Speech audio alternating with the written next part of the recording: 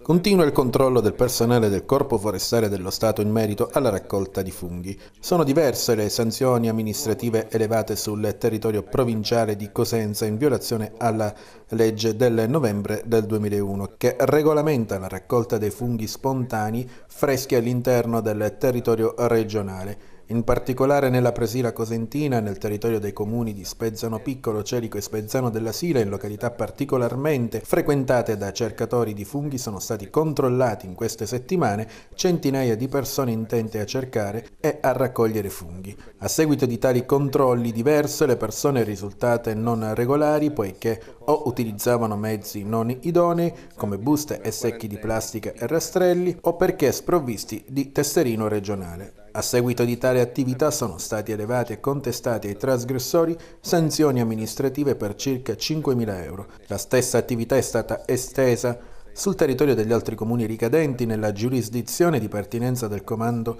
quali Casori Bruzio, Pedacia, Serra Pedacia e Trento dove insistono diversi luoghi frequentati da ricercatori di funghi.